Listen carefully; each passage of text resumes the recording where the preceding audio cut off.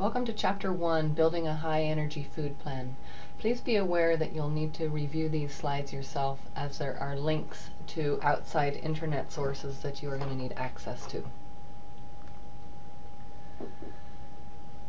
In our textbook we learn to eat three kinds of foods at each meal, but 35 different foods each week. We should eat foods that are in their natural state, in other words, um, that have not been processed. And we should eat processed foods in moderation. So the best breakdown would be try to eat 85 to 90% of your food in their natural or healthy state, and um, try to keep 10% um, to be your less nutritional food. So in other words, it's okay to not eat perfectly all the time. So what I want you to do is make a list on a sheet of paper of the foods that you typically eat. Try to list them individually. Um, for example, if you eat a sandwich, what are all the parts of that sandwich? Um, and see if you can get 35 foods because that should be your goal. And then I want you to circle the foods that you feel are most natural and under-processed. Um, and what percentage of your food, now that you see your list, do you think is processed? The food groups are grains, vegetables, fruits, proteins, and dairy products. You'll need access to your slides for this, but I want you to take a look at how many servings that you actually need. This was an assignment required by the class. Um, so click on My Plate Daily Food Plan um, and find out exactly how many servings you need. And then I want you to um, just study each of the food groups and the oils so that you know what foods are part of these groups. Then I want you to figure out what is the serving unit for each food group. So it's either going to be cups or ounces. I want you to find that out for yourself. And then try to assess what is the difference between what you believe is a typical portion when you sit down to a meal and a serving from my plate. You will find there are vast differences, especially um, when you're looking at proteins because they're measured in one ounce equivalents. So please compare a typical portion with servings. And then I want you to take a look at the portion distortion quiz. Um, it's actually kind of fun. When you eat grains, make sure they are 100% whole grain, um, not refined. Um, try to make half your grains whole grain. For vegetables, um, the good thing to know is that if you don't like fruit, then you can use vegetables to make up for inadequate fruit intake. Um, eat a lot when you can. Uh, you can eat it fresh, you can eat it frozen, and you can also eat canned fruit, canned vegetables, but make sure they are rinsed, okay, to get the sodium out. And the best way for cooking is microwaving, steaming, or wokking because it cooks quickly and it tries to maintain those nutrients. Um, now go back to your list and see um, how you did on vegetables. Um, look for color and variety. Um, the key nutrients that you get from your vegetables are typically vitamin C, potassium, fiber, carotene, and lycopene. And a, good example of getting fruits into your day would be a, a, banana and orange juice for breakfast, and that would cover your daily minimum. Um, other things you can do are to try dried fruit rather than eating energy bars. Uh, fruit smoothies, but not fruit smoothies that contain ice cream or um, you know frozen yogurt or things like that. Try to have it be made of just fruit and ice. Now look at your list of fruits. Um, what colors are you getting? Are you getting lots of variety? And again, with fruits, your key source of nutrients or your key nutrients are vitamin C, and potassium. How do you feel about eating organic? Here are the pros to eating organic. There are no chemical fertilizers. There are no insecticides. There are no weed killers. There are no growth hormones. There are no antibiotics or medications. And we support local farmers and green space. The cons of eating organic are you'll pay more, about 30% more. Um, oftentimes, companies use it as a marketing ploy. So you'll see it on packaging of foods that are not necessarily good for you and they're highly processed, but yet it says the word organic, um, trying to get you to buy their product. So beware of that. And also, most items that you buy organic, you could probably peel or wash and have it be just fine. So um, what you need to do is check out some of the things where you eat the skin and the skin is porous. Um, those might be um, fruits and vegetables of concern. In the dairy area, um, the goal is to get calcium and protein, okay? And the common dairy foods you will see are milk, yogurt, and cheese. They also contain vitamin D if it's fortified with vitamin D. And um, you can also eat non um, lactose containing foods. So, for example, you could get have soy milk, um, but you need to be aware that it should be fortified and have enough calcium, vitamin D, and protein. Um, you could drink almond milk. Um, you can drink rice milk. So there are lots of options, but just make sure that they are also fortified with those key items. Uh, a typical serving of calcium should be 300 milligrams. So you'll find that in 3 cups of broccoli, 8 cups of spinach, or 30 cups of unfortified soy milk, soy milk. So you can see that you have to eat more of other things in order to do something that you could get out of a glass of milk. Um, unfortunately, not everybody enjoys milk or can drink milk. Uh, the other thing is frozen yogurt, um, about a third of a serving, um, but twice the calories of um, the typical serving of calcium. So literally you would have to eat a lot more frozen yogurt in order to get the benefit and at that point it's not so good for you. Um, too much sugar. Uh, but it's a great little treat. Uh, look at your calcium foods.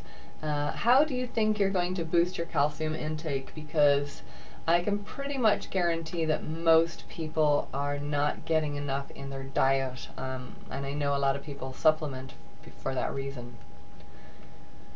In the protein group, you're looking at meats, seafood, eggs, poultry, nuts, beans, and legumes. And legumes are basically anything that's found in a pod, which includes some beans. Um, you should be getting in a typical day, this is not a serving, this is a day, five to seven total ounces of protein um, from a meat type source or a bean or legume, or um, two to eh, plus two to three cups of milk um, or a milk replacement.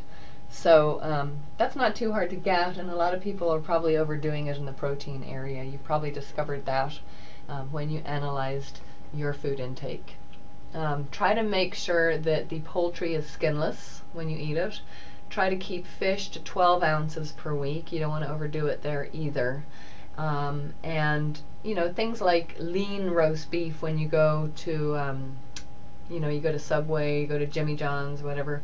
Um, choose the lean cuts. And peanut butter is great too. But remember, um, peanut butter is high in calories um, because it's so high in fat. So keep your serving size uh, minimal, like um, one to two teaspoons of peanut butter is plenty per day and will provide you with lots of protein. Excess protein is not stored as bulging muscles. If you eat more protein than what is recommended, and we'll study this in a later chapter, um, it can be stored as fat if you don't use it for energy. And the body doesn't like to have to convert protein to energy. So eat what is required for you and don't overdo it. You're not going to give yourself bigger muscles by eating more protein. Um, it's resistance training that will do that for you. Um, so look back at your list of foods and how are you doing on protein? For fats and oils, the key is to watch saturated fat and trans fats because they are hard on the heart and the arteries. Um, look in your food labels for the word hydrogenated, um, and it can be hidden in there. Um, but hydrogenated basically means trans fats. And um, these can raise your bad cholesterol and lower your good cholesterol, so that's not good. Um, if you're choosing oils, make sure they're soft or liquid. If they're hard, they are saturated. Uh, if they're hard at room temperature, they are saturated. So, you know, when you cook meat on the frying pan and um, it cooks down to an oil while you're cooking it, but then you take the meat off the pan and the pan cools, and later on you see this hard layer of fat sitting on the pan. That's what's bad for your arteries. Your serving for the total for the day is five teaspoons. Um, you shouldn't go over 20 to 35 percent. Um, and for clients in training, about 25% is a good goal. Choose things like olive oil, peanut butter, nuts, and ground flaxseed, for example. Do you like to eat sweets? I do. Um, just keep them in moderation and be sure to enjoy a small treat. Um, treats you'll eat more of if you're starving. So again, if you're eating every three to four hours, you're less likely to want to binge on a lot of sugar once you see it. So, so try to eat healthfully and fill up on healthful foods first. 10% of your calories from sugar is completely fine.